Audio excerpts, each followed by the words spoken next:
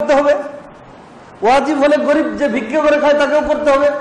সলাদ ফরস জাকাত কি সবার উপরে ফরস হজ কি সবার উপরে ফরস জাকাত না দিলে মান সম্মান নষ্ট হয় না। সলাৎ আদায় না করলে মান সম্মান নষ্ট হয় না। কুরবানি না করলে পেস্টিস হ্যাম্পার হয়ে যায়। বনে জায়গা পাবে বনে টাকা পাবে, এর কাছে কেটে গিয়ে বলে, ওর কাছে কেটে গিয়ে বলে, ভাই টাকা পাবে, ওর কাছে কেটে গিয়ে বলে, ও টাকা দেয় না, কিন্তু কুরবানিটা পঞ্চাশ হাজার টাকা দামের গরু ঠিকই দেয়। ওর কুরবানি হবে না, ওর কুরবানি হবে না, ওর কুরবানি হবে না, এটাই সঠিক। আগে কি করতে হবে? আগে কি করতে হবে আপনাকে? ভাইয়ের টাকাটা দিতে হবে। বনের সম্পত্তি দিয়ে দিতে হবে।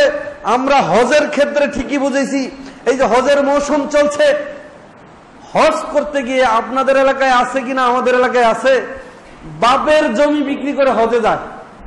নিজেরটা বিক্রি করে না, জানে যে নিজেরটার মধ্যে ভেজাল আছে। হজ করতে গেলে বাপেরটা লাগবে, বাপেরটা সলিড, বাপ শুধু খায় নাই কিছু খায় না এটা আমরা বুঝি। হজ করতে গিয়ে আমরা বুঝি যে হজ করতে গেলে হালাল টাকা লাগবে। কিন্তু ভাইজান, যে জামাটা আমি গায়ে দিয়েছি, এই জামাটা কি হালাল টাকার সকালবেলা যে নাস্তা করেছি, এক গ্লাস পানি খেয়েছি, ওই পানিটা কি ব্যাংকের টাকা? যে মোটরটা আমি গিয়েছি এটা কি ব্যাংকের টাকা? যে জামাটা গিয়ে দিয়েছি, এটা কি সুদের টাকার জাকাত দেয়নি ওই টাকার? ওটা দিয়ে সারা জীবন ইবাদত করলে সামনের কাতারে যতই আসুন, মসজিদের টাইলস যতই সুন্দর করুন, কাজ হবে না। আগে ভিতরটা পরিষ্কার করতে হবে, মনের পশুত্বকে আগে জবাই করতে হবে। আল্লাহ হলেন পবিত্র। তৈয়িব। পবিত্র ছাড়া আল্লাহ গ্রহণ করেননি। তাহলে সলাৎ আদায় না করলে মান সম্মান নষ্ট হয় না। কেউ কি মনে করে যে আজকে ফজরের সলাৎ আদায় করিনি? আমার খারাপ লাগছে। কিন্তু কুরবানি না দিলে বলে যে জামাই আসবে, বেটি আসবে, কি মনে করবে মানুষ? কোরবানি না দিলে লোক দেখানো ইবাদত শিরিক। রিয়া, লোক দেখানো ইবাদত শির কুরবানি করতে গিয়ে শিরিক করে বসে আছি। কুরবানি করে জাহান্নামে যেতে হবে। কারণ শিরক করলে কোথায় যেতে হবে? তা আপনি তো লোক দেখানো কুরবানি। প্রতি বছর এক লক্ষ টাকা দামের কুরবানি দিচ্ছি। মানুষকে দেখানোর জন্য। আমার নাতিরা কি খাবে? আমার বুদ্ধিরা কি খাবে? মেয়ে আসবে, যদি কুরবানি না দিই তো মান সম্মান যদি এমনি না পারি, ভাগে দিব। সমস্যা কি? দিতে তো হবে। কিন্তু সলাৎ না আদায় করলে এই লোকের মান সম্মান নষ্ট হয় না। সলাৎ খরচ কুরবানি না দিলে একটা মশায় কামড় দিবে। মশা কিন্তু কাউকে খাতির করে না। বুজুর্গ থাক আর হুজুর থাক, সবাইকে কামড় দেয়, তাই না?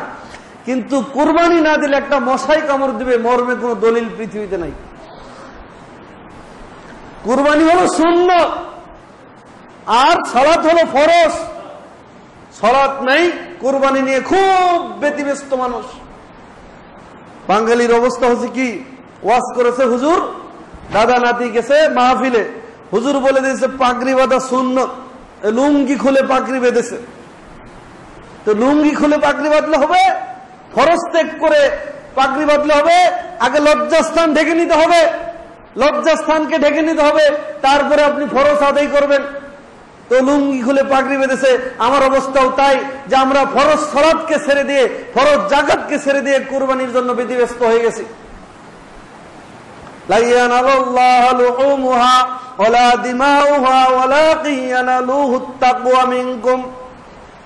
আল্লাহ রব্বুল আলমিনের কাছে গোস্ত কোরবানির রক্ত কিছুই পৌঁছে না। আপনি বলুন ইন্না সালাতি ওয়া নুসুকি ওয়া মাহইয়ায়া ওয়া মামাতি লিল্লাহি রাব্বিল এখন কি বলছে? সালাত না কুরবানি? বল ইন্না সালাতি, হে নবী আপনি বলুন, আমার সালাত অনুসুকি আমার কুরবানি অমাহিয়া আমার জীবন অমামাতিলিল্লাহি রব্বিল আলামিন। সব কিছু আল্লাহর জন্য সব কিছু আল্লাহর জন্য হতে হবে। কুরবানি আল্লাহর জন্য। আর লাইয়ান আল্লাহ সূরা হজ 37 নম্বর আয়াত।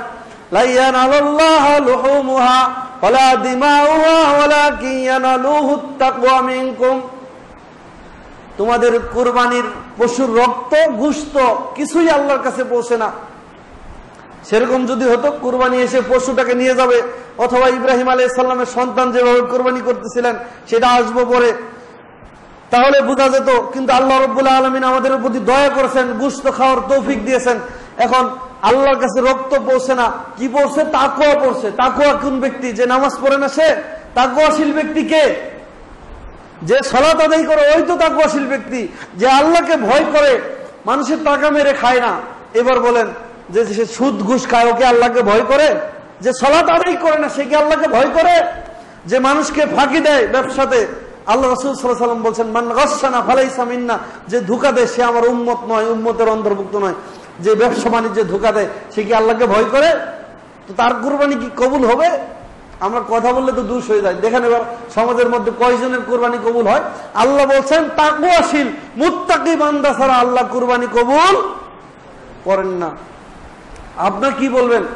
আমার দিনী ভাই দাওরা হাদিস পাস করেছে, কামেল পাস করেছে, ওর সামনে যখন এই কথা বললাম যে সলাদ আদায় না করলে কুরবানি হবে না, তখন বলল যে আপনারা তো সমাজের মধ্যে ফিতনা লাগাচ্ছেন।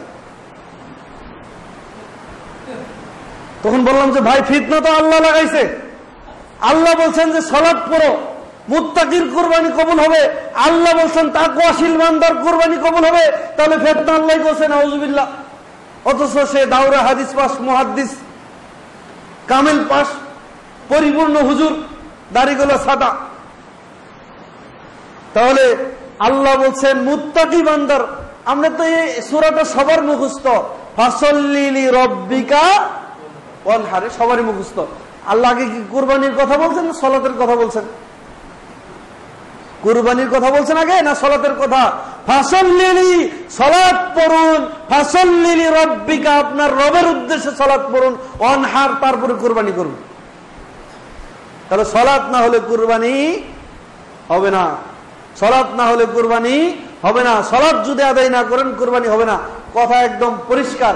এরপরে আসুন ইব্রাহিম আলী সাল্লা সাল্লামের যে কুরবানি, সেই কুরবানি হলো আমাদের